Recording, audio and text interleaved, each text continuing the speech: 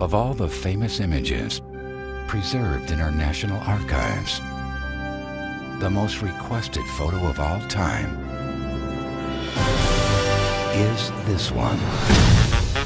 You remember when you talked about finding an ally for Nixon? Someone from the outside. I need to get this letter to the president. You'll never guess in a million years who just showed up at the Northwest Gate asking to see him. It's Elvis. Elvis Presley. You swear this isn't a joke, because this penmanship is horrible. Thank you. Thank you very much. So you think we should meet with him Yes, Mr. President. during my nap hour? Everybody loves Elvis. Call me. He could really help us with the youth vote. He would also like a badge. A what?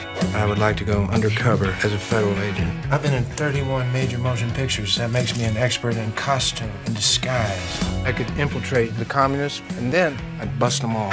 Let's do this thing. An undercover rock and roller. Sounds ludicrous. I can supply my own firearms. All right. Now, what do we have on this guy? Well, he's one of the most famous men on the planet. Loves guns, hates the Beatles. The Beatles. Well, I don't like them. Okay, sir, do you have any firearms or weapons of any kind on your person? It's a good thing they didn't catch this little fella in my boot.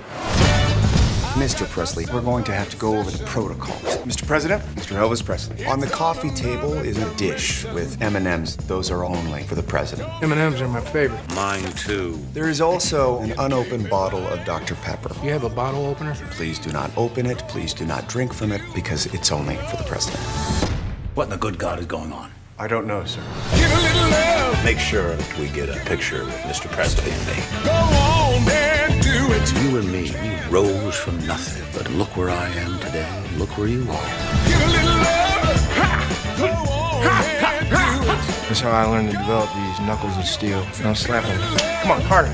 Harder. Let it out. Let it out. Those are the steel claws of a tiger, Mr. President.